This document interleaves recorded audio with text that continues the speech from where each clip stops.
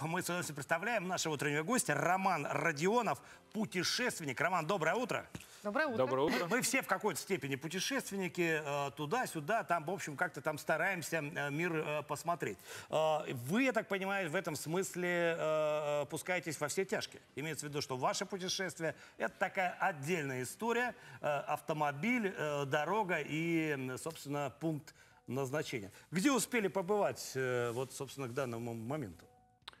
Ну, слушайте, если перечислять все, то, наверное, самые интересные путешествия запомнились вот из того, что в последние годы происходило. А, это вот э, Норвегия, Скандинавия вся, Швеция, Финляндия, э, Кольский полуостров, э, ну и, соответственно, направления такие, которые вот э, последнее время изучаю, это Кавказ, потому что сейчас, пока границы закрыты, я не могу поехать, как раньше, например, куда-нибудь в Турцию, как мы Мгм. раньше это делали. И изучали эту страну не так, как обычно люди изучают, когда прилетают в Турцию на самолете и отдыхают на курортах. Мы, допустим, эту страну с женой исследовали целиком, проехав по северу страны, по центральной части, доехав до пролива Босфор. А сейчас вот э, вдвоем с сыном три месяца путешествовали по Кавказу, то есть там все, начиная от Абхазии, Чечня, Дагестан, Ингушетия, Кабардино-Балкария, Карачаево-Черкесия. Ну, в общем, э, практически все от Каспия до Черного моря. Ну, наверняка скопилось очень много впечатлений. Э, Нашим зрителям посоветуйте, куда можно отправиться и получить массу вот э, для себя интересного, массу информации. Ну, с учетом того, что сейчас границы у нас не позволяют проехать везде, куда я могу посоветовать нашим зрителям поехать, поэтому, ну, наверное, имеет смысл сейчас, э, вот если мы вещаем на Красноярский, на наш край, то, соответственно, имеет э, смысл поехать прямо сейчас на Зимний Байкал. Это вот прям конец февраля, самый сезон, потому что там сейчас будет как раз самое такое вот на конец февраля, начало марта. Это вот лучшее время для того, чтобы туда съездить. Мгм. Во-первых, ехать недалеко, во-вторых, это достаточно близко от нас. В-третьих, там э, сама по себе атмосфера такая, что там, ну, в общем, нет аналогов в мире. И поэтому, ну, вот из того, что доступно, из того, что относительно недорого, из, из того, что можно действительно многое там увидеть, это вот на Байкал, да, вот если вот такие советы давать. А если в перспективе уже, ну, подальше поехать, то, конечно, э, в связи с тем, что сейчас многие стали выбирать путешествия на автомобиле, Мгм. мы можем сейчас уже там поехать куда-то подальше, не только на Алтай или там куда-то в Ергаке, да, где у нас обычно люди раньше ездили куда-то или там ходили пешком в походы, а выбирать именно вот направления, связанные с тем, что у нас очень много мест, которые для себя люди стали открывать, такие как Камчатка, например.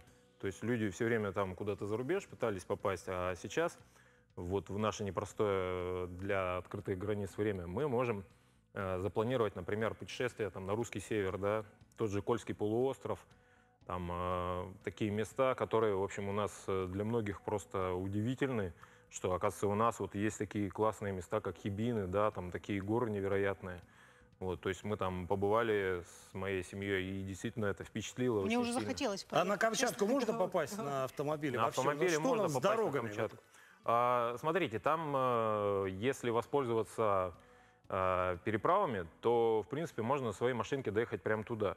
Но это прям кардинально недешевый способ и ехать туда далеко, поэтому проще будет туда прилететь, там взять в аренду машинку и покататься везде. А вообще автопутешествие – это бюджетный способ перемещаться? А, ну, смотря с чем сравнивать. Это, как знаете, можно не бюджетно поесть в столовой, понимаете? То есть Мгм. э, здесь такая история про то, что если человек едет на машине, то он имеет больше возможностей, и поэтому здесь, когда речь заходит о деньгах, надо понимать, что здесь в первую очередь надо не про деньги думать, а про то, что ты сможешь увидеть благодаря автомобилю, потому что если у тебя машина, ты можешь не зависеть от э, самолета, ты можешь не зависеть от отеля, ты можешь жить прямо в автомобиле.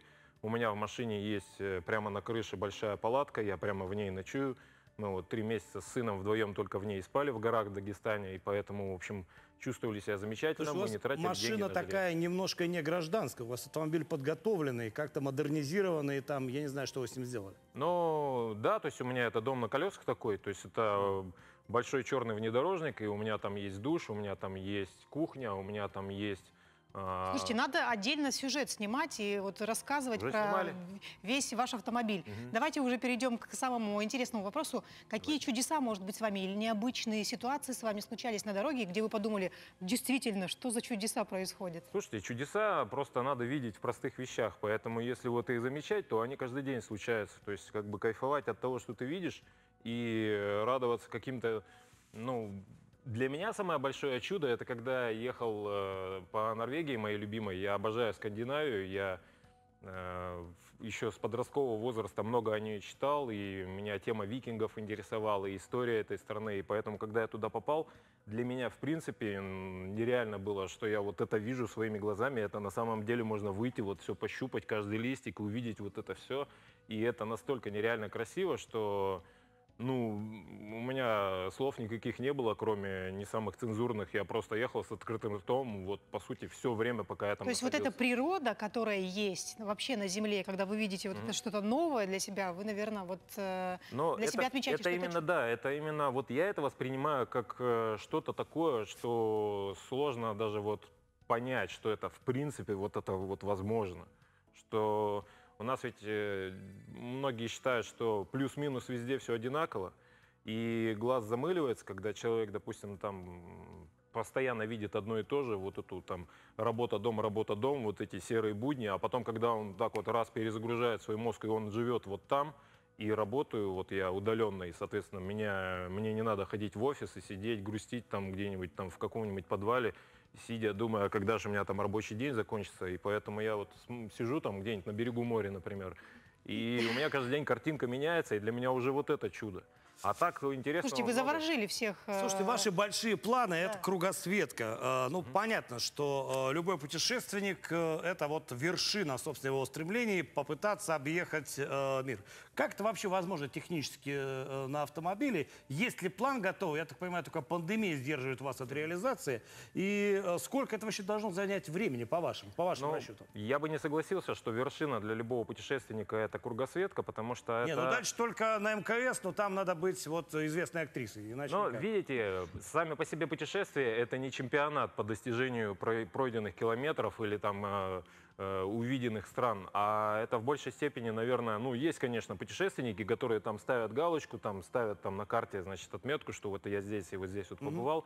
В первую очередь, э, знаете как, можно побывать в стране, не увидев страну, то есть быстро пролететь, промчать, там, проезжая полторы, там, две тысячи километров за день, и, ну, да, я там был, но я ничего не помню, потому что я ничего не успел увидеть, а можно проехать так, что в той же Норвегии вы не сможете проехать полторы тысячи километров. Чисто технически, да, возможно, но вы будете проезжать просто мимо таких красивых мест через каждые пять минут, э, что проехать их просто и дальше, ну, это преступление. То есть это просто будете ехать и рыдать просто, у вас будут слезы течь по щекам, потому что это настолько вот поражает, что там, там очень тяжело ехать. То есть выходишь постоянно, все снимаешь на телефон, фотографируешь, потом поворачиваешь куда-то за угол, через пять минут опять выбегаешь, опять там полчаса или час целый То снимаешь. есть самое главное впечатление. Концентрация красоты, да, она, в общем, не везде одинаковая. и Поэтому вот для меня кругосветка — это просто... Здесь даже никакой временной отсечки нет. То есть для кого-то это 6 лет, да, пройти кругосветку.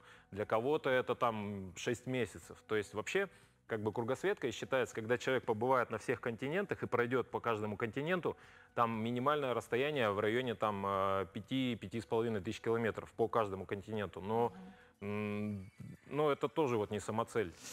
Понятно, Роман. Ну, в таком случае нам остается только пожелать реализации этих планов э, в том формате, э, в каком вам э, э, это будет удобно сделать. Роман Родионов, э, автопутешественник, был у нас в гостях. Друзья, нам пора двигаться дальше.